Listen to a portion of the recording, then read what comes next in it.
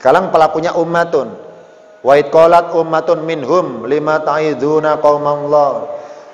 Sama di sini qalat pelakunya ummatun. Oh berarti lafat-lafat yang pelakunya pakai tamar buto itu kata kerja berkata pakai kolat ada taknya kolat to'ifatun kolat ummatun kolat malaikatun wa kolatil malaikatu ini contohnya nah, ini ini kaidah umum dalam bahasa di Al-Quran, kaidah umumnya. Sekarang nanti saya contohkan yang khusus. Berikutnya contohnya lafat kolat pelakunya adalah semut. Ini ada kisahnya. Ini adegan peristiwa Nabi Sulaiman dan para pasukannya ketika mereka mau menuju suatu tempat melewati wadil. Wadil itu lembah hatta ida sehingga apabila atau mereka mendatangi so mereka Sulaiman dan para pasukannya mendatangi melewati maksudnya ala wadi namli melewati atas lembah semut. Jadi Sulaiman suatu ketika dengan para pasukannya melewati lembah semut. Jadi suatu lembah yang semut banyak sarang semutnya maksudnya. Semutnya. Nah ketika adegan Sulaiman melewati lembah banyak sarang semutnya itu Kolat namlatun. Berkatalah seekor semut. Berkata, tentu dengan bahasa semut loh ya. Ya ayuhan namlu, wahai semut-semut. Ya ini. Masuklah kalian, masakinakum ke tempat tinggal kalian, masuklah. La yaktimannakum Sulaimanu. Inilah ini janganlah. Ya, janganlah sampai Sulaiman itu yaktimannakum akan membinasan kalian, nginjak-nginjak kalian nanti. Wajunudu dan tentara-tentaranya itu. Wahum surna dan sedangkan mereka enggak enggak sadar bahwa nginjak kalian gitu kasarnya. Nah, atas kuasa Allah karena memang telinga Nabi Sulaiman itu bisa mengerti bahasa binatang. Nah, maka Sulaiman ibaratnya mengerim, mengerim pasukan supaya jangan maju dulu. Ada semut membiarkan semut dulu masuk ke ke liang-liangnya supaya nggak terinjak. Nah, setelah semuanya masuk ke ke apa ya lobang-lobang sang semut, yang satu ini Sulaiman tanya deketi akhirnya. Ini ini dialog ini dialognya singkatnya. Sulaiman tanya, apa tuh ini bahasa saya? Apa tujuanmu kok nyuruh teman-teman masuk ke sarang-sarang itu? Apa kamu itu takut terinjak olehku? Jadi Sulaiman tanya, apa tujuanmu tadi teriak nyuruh teman-temanmu supaya masuk ke sarang? Apa karena takut terinjak? Ternyata di luar dugaan gini jawabannya. Semutnya.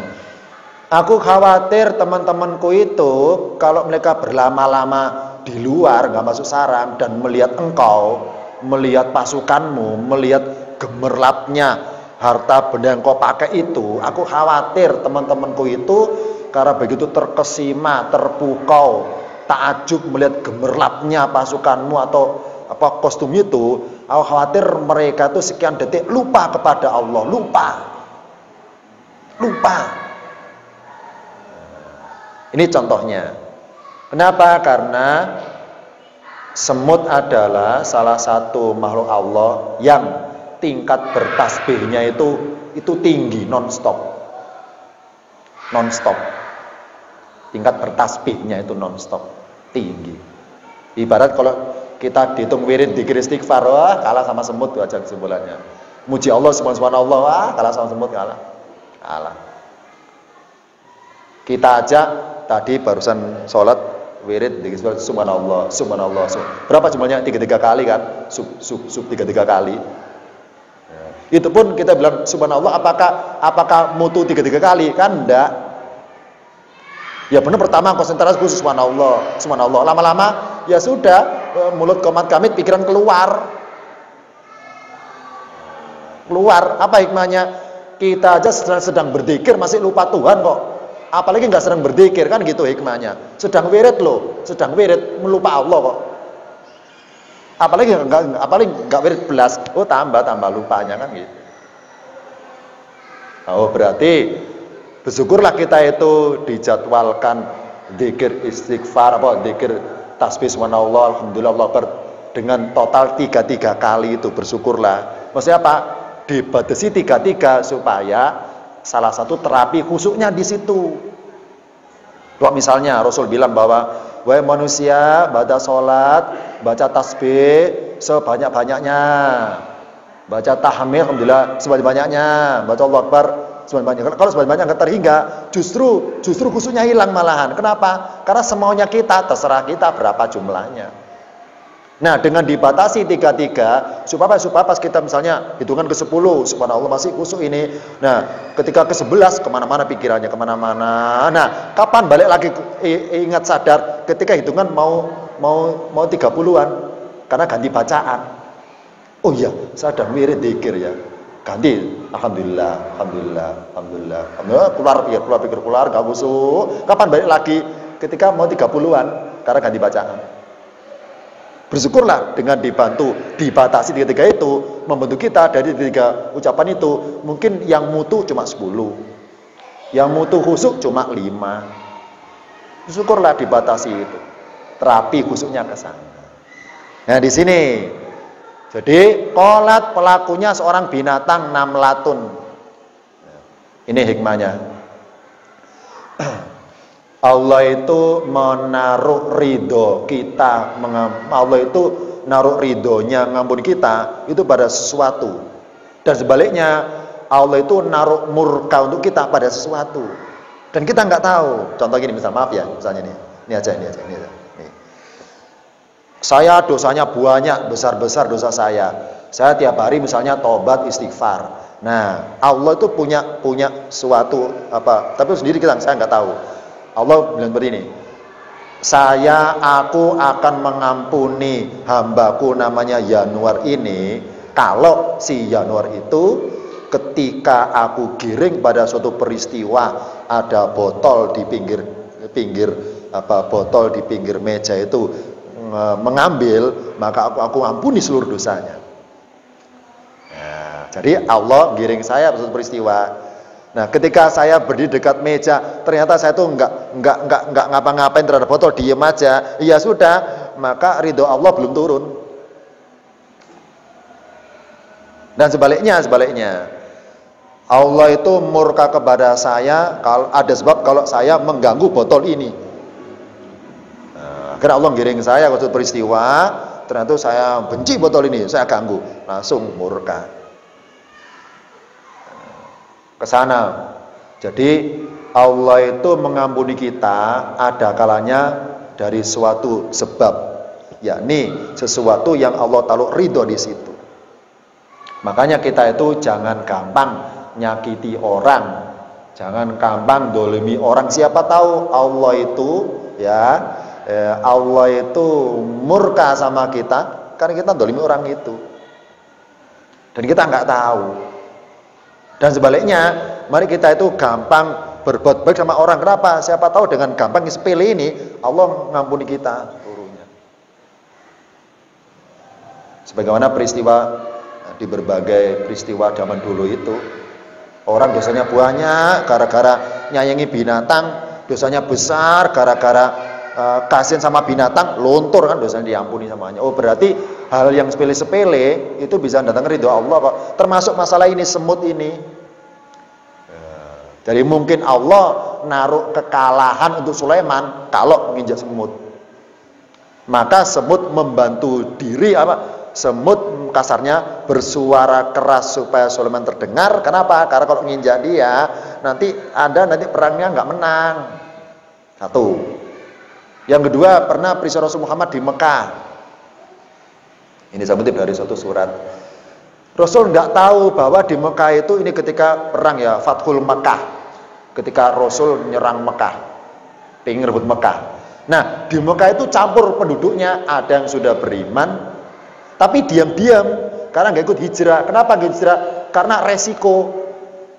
Jadi di Mekah itu ya ada orang yang sudah Islam tapi sembunyi-sembunyi. Nah Rasul tidak tahu bahwa mereka yang gak ikut hijrah itu ada yang sudah beriman, Rasul nggak tahu. Nah Rasul ada rencana pengen nyerang secara secara apa? Serentak. Pokoknya orang Mekah di dalam serang semua. Nah, kenapa Jibril datang ngasih tahu ya Muhammad, engkau nggak tahu di antara mereka ada yang beriman. Allah itu naruh murkanya kepadamu kepada salah satu itu kalau menyakiti mereka salah satu mereka. Oh berarti Allah itu murka kepada manusia lewat sesuatu yang Allah pakai sebagai apa ya uh, ujian atau cobaan. Kira-kira diganggu apa tidak sesuatunya itu. Ketika apa dilaksanakan tidak, sebenarnya dilaksanakan tidak itu contohnya. Sama dengan kita, eh, sholat antar sholat laki-laki Jumat antar Jumat menghapus dosa antaranya kan keduanya. Kenapa? Oh berarti Jumatan adalah sesuatu amalan yang kalau dikerjakan maka menjadi penyebab luntur dosanya meskipun wirid istighfarnya kuotanya kurang. Umroh antar umroh menghapus dosa antar keduanya meskipun istighfarnya kurang. Kan gitu. Nah, sama di sini. Jadi mari kita itu jangan gampang berbuat buruk sama orang. Siapa tahu Allah itu murka sama kita gara-gara kita buruk sama orang itu dan sebaliknya. Kalau kita tuh berbaik itu jangan milih-milih. Sudah selama kesempatan kerjakan aja semuanya. Jangan milih-milih. Itu kan apa, hal yang sepele, apa misalnya ringan, kerjakan meskipun ringan. Karena siapa tahu ringan itu mendatangkan ampunan. Ini contohnya. Satu lagi terakhir. Wa qala niswatun fil madinati ini adegan di kisah Nabi Yusuf alaihissalam ketika apa ada peristiwa aib dalam istana yakni istrinya Al Aziz ya menggoda budaknya yakni Yusuf Yusuf budaknya menggoda untuk berbuat maka peristiwa dalam istana itu itu jadi aib kenapa karena pelaku yang berbuat istrinya seorang raja. Jadi aib. Nah, karena dalam istana itu banyak personilnya, ada ada apa eh, laki-laki, ada perempuan sebagai istrinya, maka maka beberapa orang yang menjadi saksi dalam dialog antara si raja dengan Yusuf itu maka didengar oleh sama penghuni istana namanya penghuni istana kan mereka kan keluar jadi kayak jam kerja mereka itu ini apa? Ketika uh, jam pagi hari ya berangkat ke istana, malamnya pulang ke rumah. Ini pulang ini cerita akhirnya. Jadi para anggota kerajaan yang laki-laki suami-suami itu ketika dengar di sana ada heboh, heboh tentang maaf ya e, peristiwa perselingkuhan ini heboh ini di sana heboh. Agar apa? Ya sudah pulang ke rumah cerita sama istrinya. Nah, kenapa? Ya sudah, wa qala niswatun fil madinati. Jadi viral. Jadi viral akhirnya. Wa qala niswatun. Nah, ini dalam bahasa Arab kata-kata berkata harusnya pakai kolat, pakai tak. Kenapa? Karena perempuan yang berbuat niswatun. Tapi ternyata oleh Allah dirubah menjadi kolat, taknya dihilangkan. Harusnya pakai kolat, pakai tak. Contohnya Im, istrinya Imran kan perempuan pakai kolat. Maryam perempuan pakai kolat. Namlatun tak marbuto semut pakai kolat.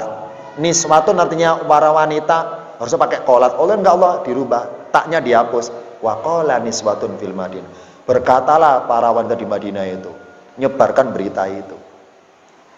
Jadi secara kasarnya kaidah bahasa Arab, beberapa tulisan di Al-Qur'an itu salah lafadznya.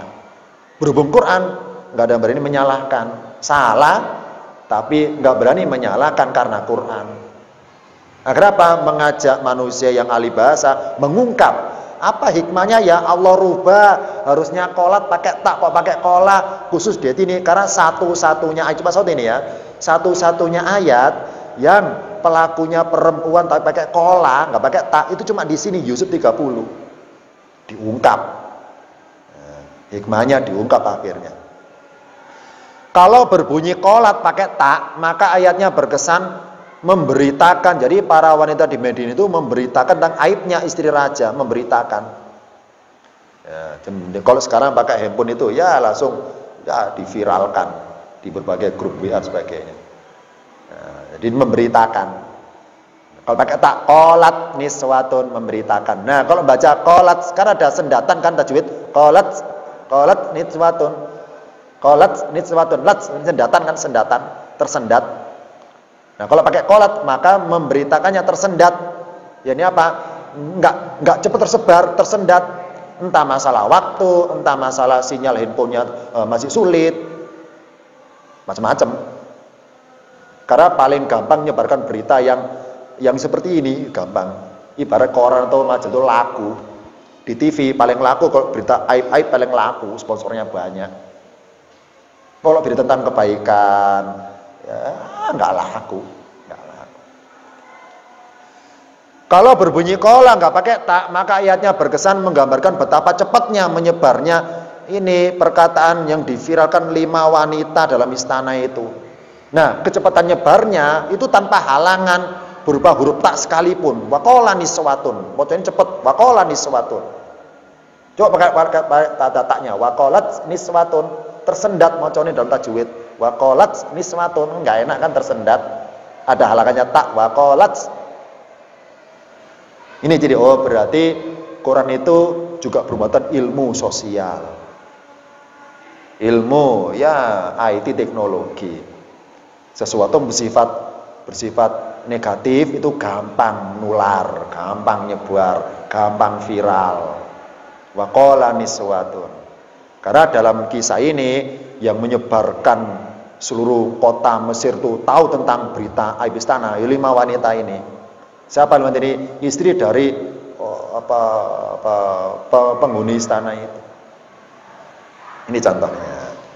Ya, jadi kesimpulannya adalah lafat kolat di Al-Quran itu pelakunya adalah perempuan atau binatang atau orang Yahudi Nasrani atau para malaikat atau orang-orang yang jumlah orangnya banyak.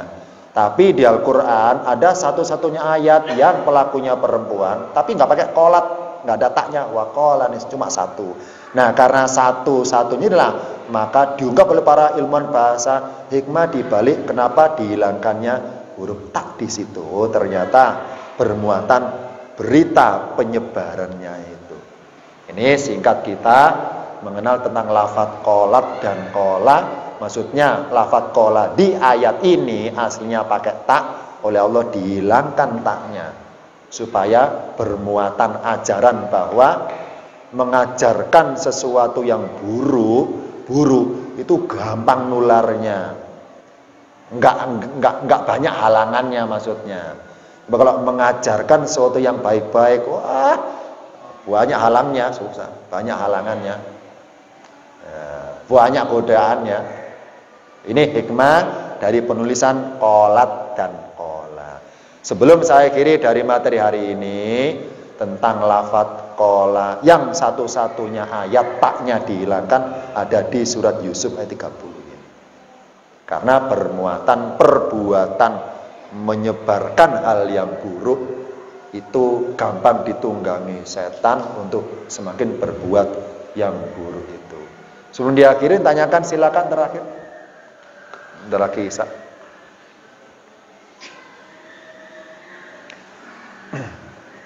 Kesimpulannya adalah mari kita ketika membaca Al-Quran itu yang merasa sudah lancar membacanya ada peningkatan penghayatan apa yang kita baca itu minimal kalaupun tidak e, tahu arti perkata langsung ya kita baca dari terjemahannya. Nah, ketika ada rasa uh, ingin tahu dari arti per kalimat mun hikmah di balapannya itu, maka perlu adanya belajar tentang pendalaman apa mengungkap hikmah-hikmah di balik lafaz tersebut agar kita kita baca ada ada ada tersentuh di situ tersentuh. Nah ini ini uh, saya berikan cara seperti itu. Itu dulu hari ini kita akhiri kajian kita semoga menjadi bermanfaat. Kita jadi semangat dalam mengkaji lafal-lafal di Al-Quran agar kita ketika membacanya menjadi tersentuh. Kenapa? Karena mutunya membaca Quran adalah tangisannya, hakikatnya, tangisannya. Jadi sholat apa khususnya sholat ya khususnya itu. Nah khususnya Quran apa? Nangisnya itu, bukan nangisi hal yang nangisi apa yang kita baca di situ. Berarti apa tersentuh? Ada penghayatan. Itu dulu kita akhiri dengan bacaan Alhamdulillah, Alhamdulillahirabbil alamin. Subhanakallahumma bihamdika asyhadu an la ilaha illa astaghfiruka wa atubu ilaika. Assalamualaikum warahmatullahi wabarakatuh.